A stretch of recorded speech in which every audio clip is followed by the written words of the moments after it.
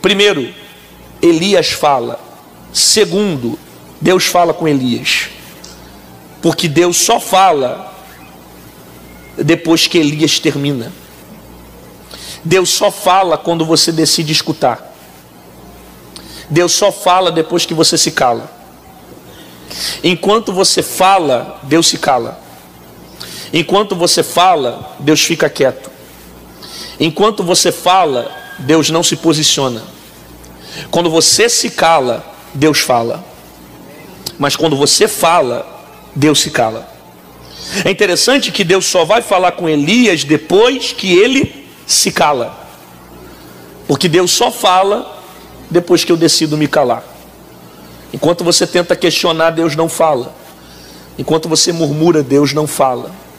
Na verdade, quanto mais tempo você murmura, mais tempo demora a chegar a sua vitória. Quanto mais você questiona, mais tempo demora a chegar às suas bênçãos. Quando você fala, Deus se cala. Deus só fala depois que Elias termina. Porque quanto mais você reclama, mais demora a sua vitória.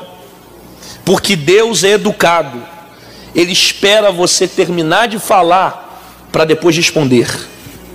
Eu vou repetir essa frase. Deus espera você terminar de falar para depois responder. Deus espera você parar de falar, parar de questionar, para depois falar com você. Existem momentos que Deus não fala ainda, porque Ele está esperando você se calar, se aquietar, para que Deus fale, expresse a direção que Ele tem para a sua vida questionamento, murmuração, reclamação, não vai ter direção da parte de Deus. Quando você fala, Deus se cala. Mas se você se calar, Deus vai falar.